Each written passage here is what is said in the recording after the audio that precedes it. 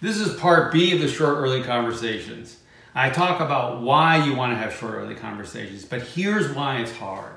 There's two reasons. Number one, the team's going to be reluctant coming to the leader with a whole bunch of unknown.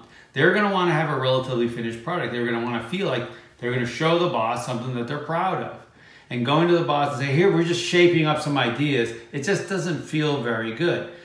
And the second thing that happens is when we go to the boss with that kind of language, the boss typically steps in and says, okay, no, I need you to do this. They get a feeling, oh, these guys are off track. They don't know what they're doing. I need to help them. And that's also bad behavior. It's bad behavior on the boss, and we want to try and resist that. So for the team, the team thinks they're gaining more control over their work by being opaque about what they're working on.